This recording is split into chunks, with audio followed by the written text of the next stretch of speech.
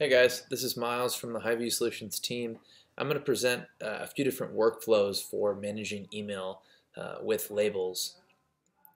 Uh, so just to get started here, I'll pull up my account and on the left hand side on the navigation links you'll see I've created two labels, one titled to do as soon as possible, the other titled to do later.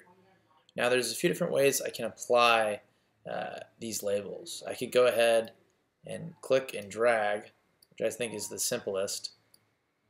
Then you'll see here the labels added just to the left of the subject on my email. I can also click in to an individual note. And up at the top here, I have a button titled Label As. And I can go ahead and select the label that I want to apply. Just like that. Now, I've gone ahead and labeled these emails accordingly, and I want to remove them from my inbox. So now I would go ahead and select all these emails and click Archive, which simply means take out of my inbox, but those emails can be found later uh, through To Do as soon as possible and, and To Do later. Now, you can also click on an individual email, click and drag that note into my label. And what this actually does is simultaneously uh, archives and applies a label.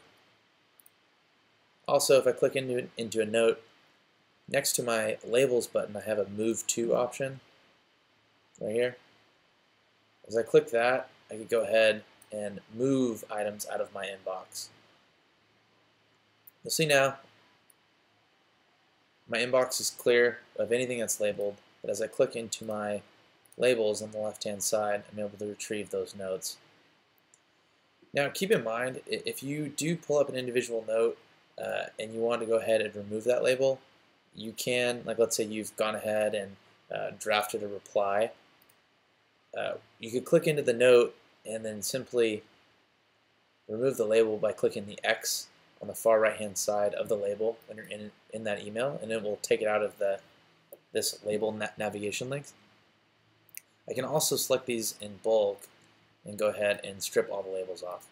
Now keep in mind, these emails will still be accessible uh, through the Google search operator, and you're not actually deleting these emails.